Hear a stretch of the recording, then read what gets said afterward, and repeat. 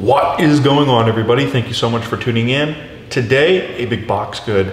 This men's Alfani dress sneaker I picked up at Macy's. It was under $40. Today, an impressions, a quick look and overview.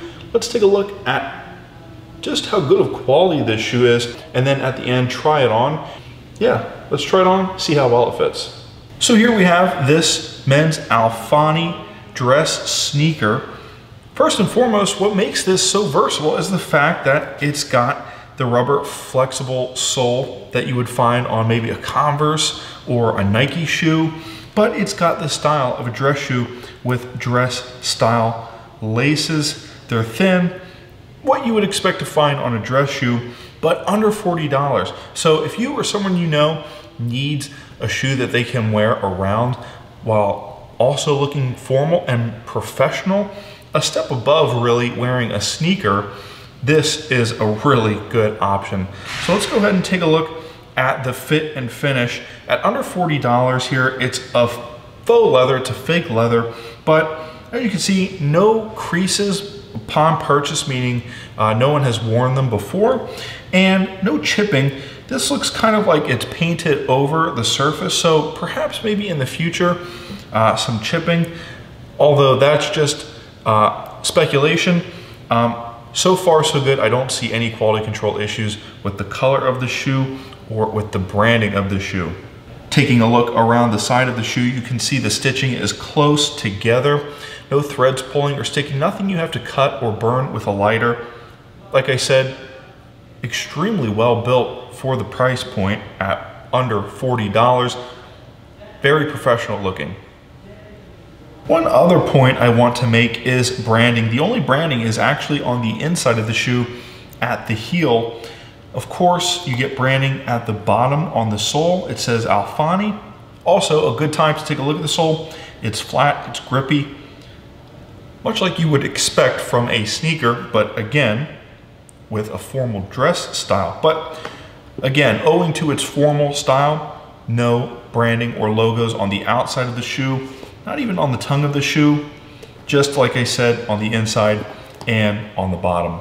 Now, even though at the beginning of the video, I failed to mention the name of the shoe, if you look inside underneath the tongue, you get the size of the shoe, which as you can see is a men's size 11, but also this shoe, it's made in China. It's called the Elston shoe. So in case you were wondering, that is the name of the shoe. Looking for this in store or online, it is the Elston shoe. So because it's got the versatility of the sneaker, it needs to have the same comfort features that a sneaker provides.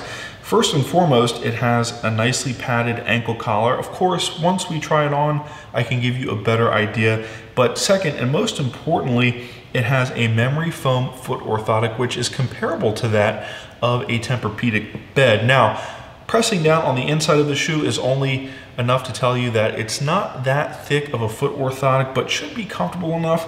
So it's got a memory foam foot orthotic akin to that of a Tempur-Pedic bed, but not removable. And before we try it on, uh, just first impressions of how comfortable it should be, it has a very nicely padded ankle collar.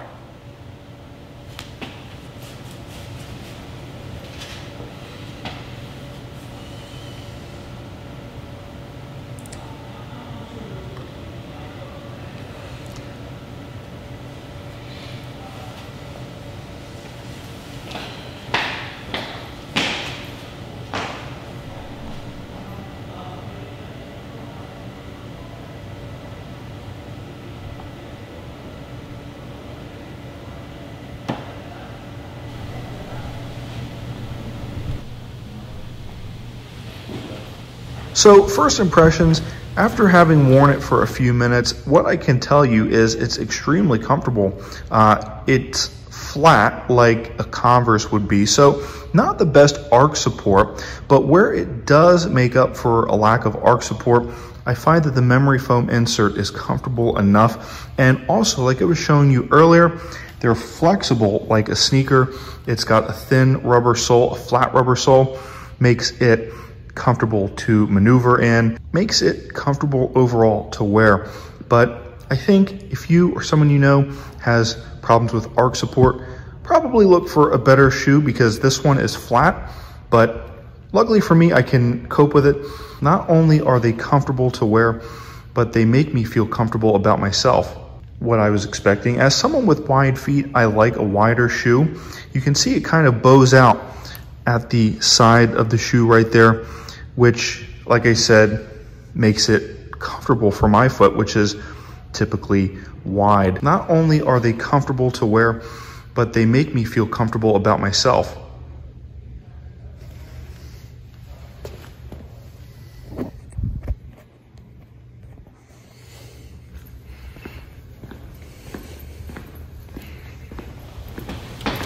Anyways, guys, that was a quick first impressions overview try on of the men's Elston formal dress sneaker by Alfani. I picked it up. This is not the Elston dress shoe by Alfani. This is actually a Columbia Slack Tide sneaker I reviewed a week ago, which was what I was wearing roughly 10 minutes ago until I realized how comfortable the Alfani are. So on my foot, extremely comfortable.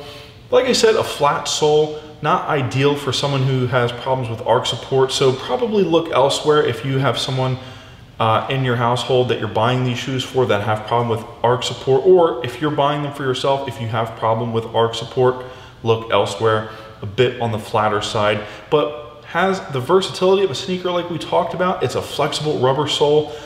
Compare it really to a Converse.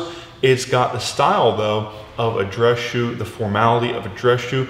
Not real leather, but it's a brown uh, faux leather. It's got a glossy sheen to it. They're very stylish looking, uh, make th makes them formal. And also the pointy toe, I think, makes them formal and makes them actually kind of sleek and slender and athletic looking or sharp I would say is probably the best word to describe them, which overall I think makes me feel more comfortable about myself. But what's cool is I can wear them whenever I want because, like I said, they have the versatility of a sneaker with that flat sole. So, kind of a win-win and also the fact that they cost under $40. Anyways, guys, that has been a first impressions, a quick look and overview. We tried the shoe on. I talked about how versatile it is, what makes it versatile, what differentiates this shoe from a regular dress shoe and a sneaker. It's really a combination of the two. Hit that like button, subscribe, hit the bell icon to get notified when I post to YouTube. Comment down below your similar experience wearing Alfani shoes or maybe shopping for shoes at Macy's under $40. Hit that bell icon because I will be reviewing more items like this from Macy's and other stores. My name is John. Thanks again so much for tuning in. I will see you in the next video.